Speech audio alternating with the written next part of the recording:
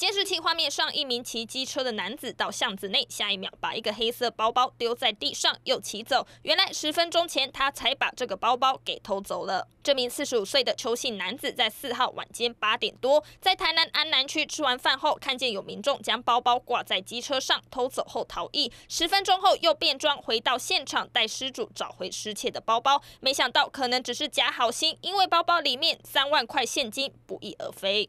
便装穿着黄色外套返回现场，带头失主前往附近巷内找回失窃包包后，随即离开。邱贤坦诚犯案，调查后全案依窃盗罪嫌。